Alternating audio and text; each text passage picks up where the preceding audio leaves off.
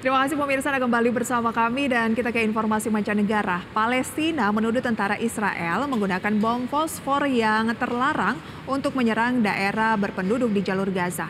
Ya, tuduhan ini disampaikan secara terbuka oleh Kementerian Luar Negeri Palestina lewat akun X resmi mereka pada hari Selasa lalu. Palestina menuduh tentara Israel menggunakan bom fosfor yang terlarang untuk menyerang daerah berpenduduk di jalur Gaza. Tuduhan ini disampaikan secara terbuka oleh Kementerian Luar Negeri Palestina lewat akun X resmi mereka pada hari Selasa lalu. Disebutkan bahwa bom terlarang itu digunakan di daerah pemukiman Karama. Bukti penggunaan bom fosfor Israel juga ditunjukkan oleh Observatorium Eropa untuk hak asasi manusia di hari yang sama.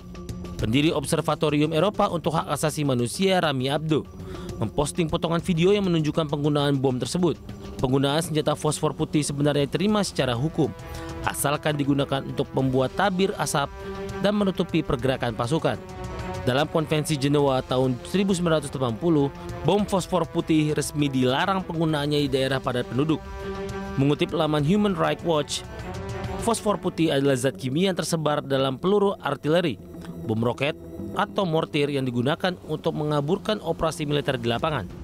Asap yang keluar mampu mengganggu optik inframerah dan sistem pelacakan senjata sehingga melindungi pasukan militer dari senjata berpemandu seperti peluru kendali anti-tank.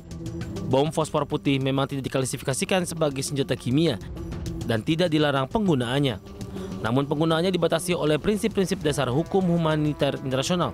Bom fosfor harus digunakan dengan cara yang dapat membedakan antara kombatan dan warga sipil dan tidak boleh menargetkan warga sipil. Fosfor putih menyala dan terbakar jika bersentuhan dengan oksigen dan terus terbakar hingga mencapai suhu 816 derajat Celcius. Ketika fosfor putih bersentuhan dengan kulit, asap fosfor menimbulkan luka bakar yang hebat, bahkan hingga menembus ke tulang. Infeksi sering terjadi dan penyerapan bahan kimia oleh tubuh dapat menyebabkan kerusakan serius pada organ dalam serta kematian. Berbagai sumber ada channel.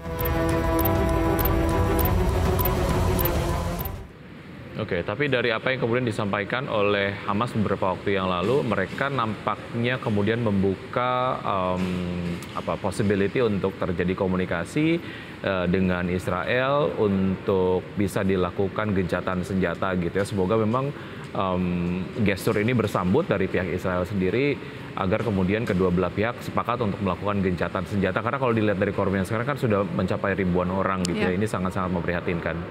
Oke. Okay.